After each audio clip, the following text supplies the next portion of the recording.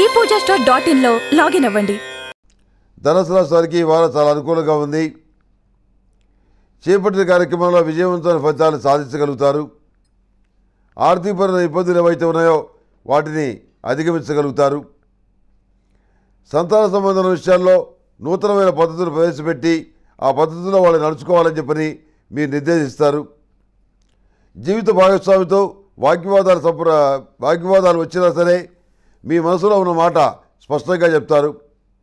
ఈ రకమైనటువంటి గారాపం వల్ల పిల్లలు చెడిపోతారు. అందుకని పిల్లల దగ్గర నేను ఏదైనా మాట్లాడుతున్నప్పుడు నువ్వు అడ్డుపడద్దు మాట్లాడద్దు అని గట్టిగా చెప్తారు. ఈ విషయంలో కొంత విభేదాలు వచ్చే అవకాశం కూడా ఉంది. అయినా మీరు లెక్కబెట్టరు సంతానం యొక్క క్రమశిక్షణ చాలా ముఖ్యం. వాళ్ళు ఎవరితో తిరుగుతున్నారు ఏం చేస్తున్నారు ఎవరితో చాటింగ్ చేస్తున్నారు ఎవరితో సెల్ ఫోన్లో మాట్లాడుతున్నారు ఇవన్నీ నాకు కావాలి అని చెప్పని మీరు వాటన్నిటి కూడా పరిశీలించుకోవడం అనేది జరుగుతుంది. కొన్ని కొన్ని విషయాల్లో లోపాలున్న చోట తేడాలున్న చోట మందలించడం కూడా జరుగుతుంది.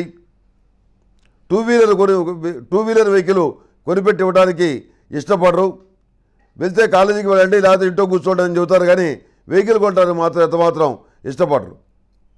మీ గతించిపోయిన పెద్ద ఆ, ఆశీస్సుల కోసం వాళ్ళ యొక్క ఆత్మశాంతి కోసం దానధర్మాలు చేస్తారు. వాళ్ళ పేరు మీద జ్ఞాపకం ఉండే విధంగా కొన్ని మంచి కార్యక్రమాలు మీరు చేయగలుగుతారు. దైవ కార్యక్రమాలు కూడా చేస్తారు.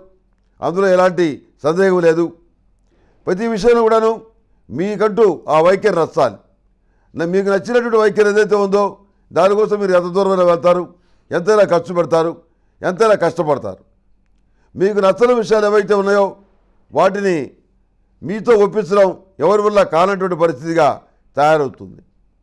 అయితే నూటికి తొంభై తొమ్మిది వాళ్ళు మీ నిర్ణయాలు కానీ మీ వైఖరి కానీ సమంజసంగానే ఉంటాయి. అదే భగవంతుడు చేసినటువంటి గొప్ప మేలు.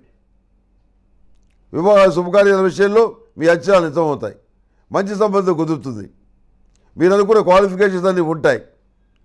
ఇంట్లో వాళ్ళు ఏదో గురించిరా అదని ఇదని మాట్లాడద్దు. నాది ఫైనల్ డెసిషన్. ఈ పెళ్ళి చేసుకోవాల్సింది అని మీరు ఆదేశిస్తారు. మిగిలిన వాళ్ళందరికంటే భిన్నంగా ప్రవర్తిస్తారు ఎందుకంటే ఏది మంచో ఏది చెడో మీ ఎక్స్పీరియన్స్లో మీకు తెలిసినంత గొప్పగా పిల్లలకి తెలియదు. వాళ్ళకి ఆ విషయాలు తెలియజేసి మీరు మాట్లాడదలుచుకున్న విషయాలు చెప్పదలుచుకున్న విషయాలు ఏవైతే ఉన్నాయో అవి అమలు చేస్తారు. ఏలినాడు సరే ప్రభావం వల్ల ఆరోగ్యపరమైనటువంటి విషయాల్లో కొంచెం ఇబ్బంది వచ్చే అవకాశం ఉంది. అందుకని ఎనిమిది శనివారాసరికి తైలాభిషేకం చేయించి అఘోర బాస్మత హోమం చేయించడం అనేది చెప్పదగినటువంటి సూచన. అదేవిధంగా ప్రతిరోజు ప్రతినిత్య కూడాను అష్టములుగా తైలంతోటి ఊరు నమస్వామి ఒత్తులతోటి కార్తీక దీపాల కార్తీక దీపాన్ని వెలిగించడం చెప్పదగినటువంటి సూచన. ఈ రాశిలో జన్మించిన వారికి వైట్ కలర్ బాగుంటుంది. అదృష్ట సంఖ్య ఏడు. ఏదైనా పని మీద బయటికి వెళ్ళేటప్పుడు బుధవారం కానీ మంగళవారం కానీ బయలుదేరి వెళ్ళండి. మంచి ఫలితాలు సంప్రాప్తిస్తాయి.